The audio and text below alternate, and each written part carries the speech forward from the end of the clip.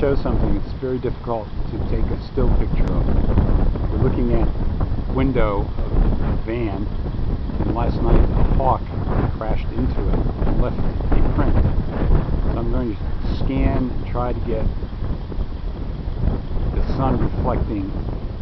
Hopefully you're going to be able to see it. Right now it's kind of shining against a black background. So it should be visible now. It was a Cooper's hawk. Unfortunately, the rehabilitators had to put the hawk down today.